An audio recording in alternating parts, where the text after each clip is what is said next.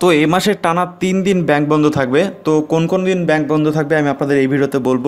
তো জানতে হলে দেখতে থাকুন সম্পূর্ণ ভিডিও। চলুন শুরু কর এইখানে দেখছেন ব্যাংক তিন দিনের জন্য বন্ধ থাকবে। সেটা হচ্ছে আঠাশ থেকে তিরিশ এপ্রিল পর্যন্ত।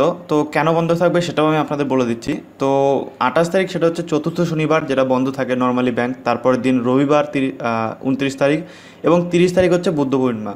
তো এই সব কারণে আপনাদের যে আঠাশ থেকে তিরিশ তারিখ পর্যন্ত কিন্তু আপনার যে, যেসব ব্যাংক রয়েছে সেসব বন্ধ থাকবে এবং শুক্রবারের পরে এখানে বলা হচ্ছে যে, শুক্রবারের পরে কিন্তু আপনার যে এটিএম সেখান থেকেও টাকা বের হওয়া বন্ধ হয়ে যেতে পারে। কারণ যেহেতু ব্যাংক বন্ধ থাকবে, সেহেতু এটিএমে যে টাকা রাখার জন্য যে রাখতে তো হবে।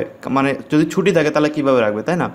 সো সেক্ষেত্রে এটিএম থেকেও কিন্তু আপনি মানে টাকা বের করা নিয়ে অনেক সমস্যায় পড়তে পারেন। তো এটা হচ্ছে ব্যাপার। তো আশা করি আজকের ভিডিওটা আপনাদের ভালো লেগেছে। ভালো লাগলে অবশ্যই একটা লাইক করবেন।